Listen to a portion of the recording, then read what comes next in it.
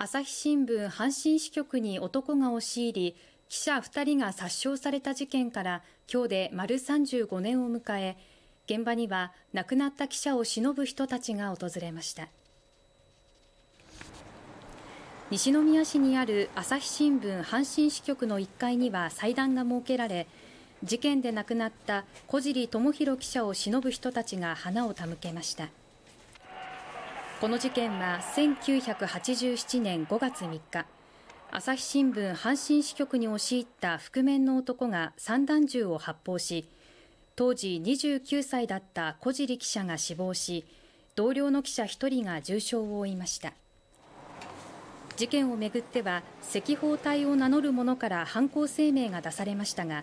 未解決のまま2002年に時効が成立しました。ご本人のあれを気持ちを考えるとねやっぱりそこで命を絶たれたということは無念の思いであったろうしこういう非道な事件があったということを伝えていくあの義務があると思うんですね。言論をね暴力で止めるそのこと自体があってはならない。支局内には襲撃の際使用された銃弾や当時小尻記者が着ていた衣類などを展示する資料室が開設されていて事件の恐ろしさを物語っています。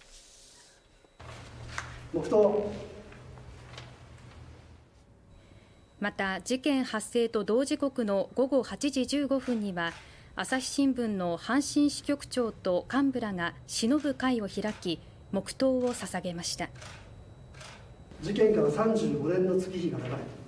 風化をどう防いでいくかが大きな課題となっています。自由な社会を脅かすわずかな動きでさえも私たちは容認するわけにはいきません。お願いです。事件のことを絶対に忘れないでほしい。支局では例年記帳台が設けられていますが新型コロナウイルスの感染拡大防止のためおととしと去年に続き今年も見送られました